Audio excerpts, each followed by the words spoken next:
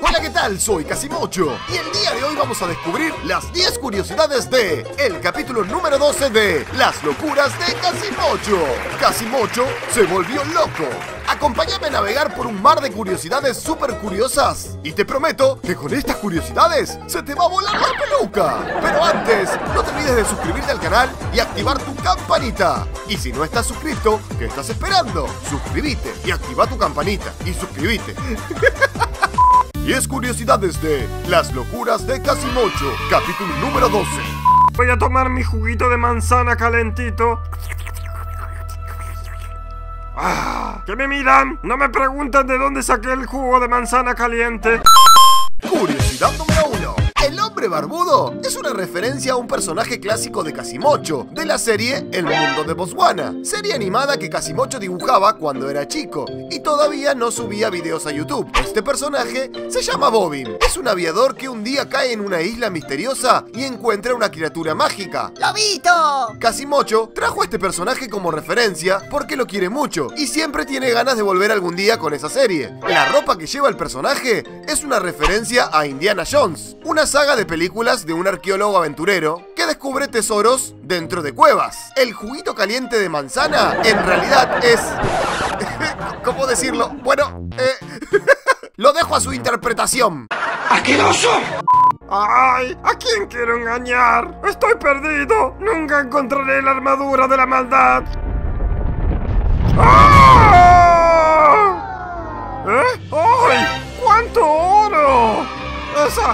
¡Esa es la armadura! ¡Es preciosa! Curiosidad número 2. La armadura abandonada es la armadura del dios del todo, un dios de gran poder que en la antigüedad, para poder derrotarlo, su poder fue atrapado dentro de una armadura samurái. Con el pasar de las décadas, la leyenda se perdió, pero este aventurero de barba, tras seguir determinadas pistas, logra dar con la armadura. Solo que no sabía que esta posee el cuerpo al que toca. Solo las personas de alma pura podrán pelear contra esta posesión. Bobin, cuando se da cuenta que está siendo poseído, decide destruir la cueva para de esta forma morir y que su cuerpo no sea utilizado. Era todo un héroe el barbudo. Ese es un verdadero hombre. Ya era hora que despertara. No lo trajimos para que venga a dormir. A mí cuando me dicen póngase cómodo porque es un largo viaje, yo me pongo cómodo. Sí, y su trasero también se puso bastante cómodo. Curiosidad número 3. El hombrecillo de bigotes tiene un aspecto muy similar a Mario Bros. Es uno de los personajes extras que aparecen siempre en la serie. En un capítulo anterior lo pudimos ver haciendo de un jefe de una empresa que casi mucho buscó trabajo. Como dato curioso, el bigotón tiene puesta la chaqueta de Trolino. Mm, me pregunto si será el padre de Trolino. Usted tendrá que traerme una lámpara. ¿Una lámpara? Acá tiene. No, no, no, no, no, no. No sé por qué le dicen lámpara si se parece más a una tetera. Métase dentro de la cueva y consígame esa tetera. Curiosidad número 4. El enemigo de este capítulo es Jafar. Jafar, un mago consejero del rey de la película de Aladdin. Este está obsesionado con conseguir la lámpara mágica. Una lámpara que al frotar puede conceder tres deseos a su dueño. Siempre me pregunté por qué le dicen lámpara, si más bien se parece a una tetera. La tetera mágica. Vaya, no encuentro fallas en su lógica. En un principio, este capítulo se iba a llamar Casimocho y la tetera mágica. La tetera mágica. Pero luego lo cambié cuando el capítulo decidí cortarlo en dos partes. No lo sabía. Señor, ¿le interesa jugar un juego? Es muy fácil y podrá ganar mucho dinero. Eh, no. Mi novia me enseñó a no jugar y aceptar dulces de extraños. Curiosidad número 5. Como sabrán, estos últimos días la internet se rompió por una serie coreana traída por Netflix llamada El Juego del Calamar. Una serie donde un grupo de personas debe jugar unos extraños juegos en una isla y el último que sobreviva ganará una importante suma de dinero. Casimocho no podía dejar afuera esta super referencia, así que decidió hacer una pequeña aparición en su capítulo. Como Casimocho siempre escucha a su público, en el próximo capítulo veremos mucho más sobre esta popular serie. Jugaremos, muévete luz verde. ¡Qué profundo! No tengo la menor idea de qué pasa. Bueno, doctor, pero ¿Casimocho ya puede volver a su casa? Mm, supongo que sí, pero por nada del mundo vaya a hacerlo enojar. No sabemos qué puede llegar a pasar si llega a enfurecerse. Sí, doctor. Le prometo que lo tendremos controlado.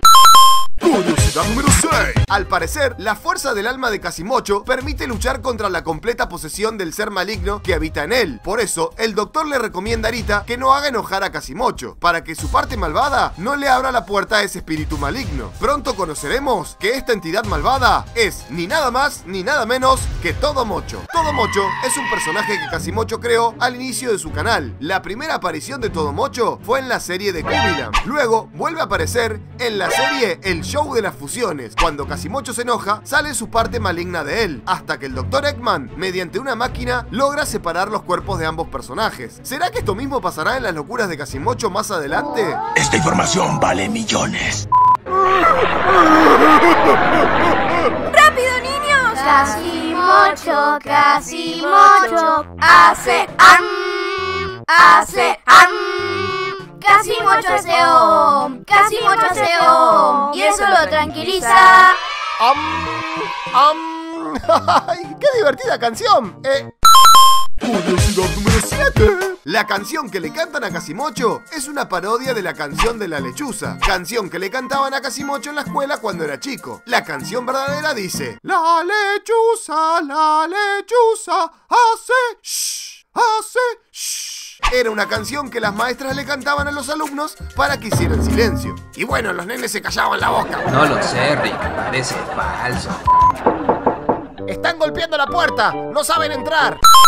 Curiosidad número 8. Están tocando la puerta, no saben entrar. Es una frase famosa del personaje Alejo, de Alejo y Valentina, serie argentina animada en Flash creada por Alejandro Sicula. Es una serie que Casimocho veía cuando era pequeño y que lo volvió súper fanático de la animación en Flash. Esta serie fue uno de los pilares que motivaron a Casimocho a volverse animador y youtuber. ¿Vos conoces a Alejo y Valentina? No, no, no, no, no, no, no, no, no, no, no. Mm, Bueno, sí. Ahora con estos deseos podré dominar el mundo. ¿Dominar el mundo? Eso es un poco ambicioso de su parte. Para nada, mi dulce princesa. ¿Y sabes una cosa? Curiosidad número 9. La esfera escondida se encuentra en el minuto 5 con 55 segundos. Vamos a ver si la podés encontrar. Pa, pa, pa, pa, pa, pa, pa, pa, pa, pa, pa. No, ahí no, no, no, no. A ver, dale, fíjate. No, ese no, ese es el genio. A ver, a ver, a ver. ¡Sí!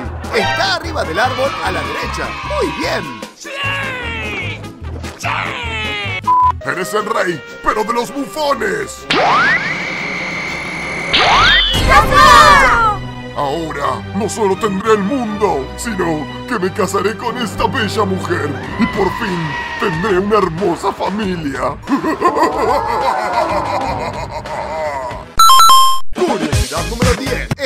es el primer capítulo de la serie de las locuras de Casimocho, que es un capítulo doble. La serie de Casimocho tendrá un total de 24 capítulos, contando con dos capítulos dobles. El primer capítulo de ellos es el capítulo número 12 y 13, que se encuentra justo en la mitad de la temporada. Y el siguiente capítulo doble será en el final de temporada, capítulo 23 y 24. ¿Cómo terminará la serie, por Dios? Y estas fueron las 10 curiosidades de Las locuras de Casimocho, capítulo número 12. Espero que te haya gustado, que la hayas pasado súper bien y nos vemos este sábado con el final del capítulo. Yo soy Casimocho y te quiero muchísimo. ¡Nos vemos!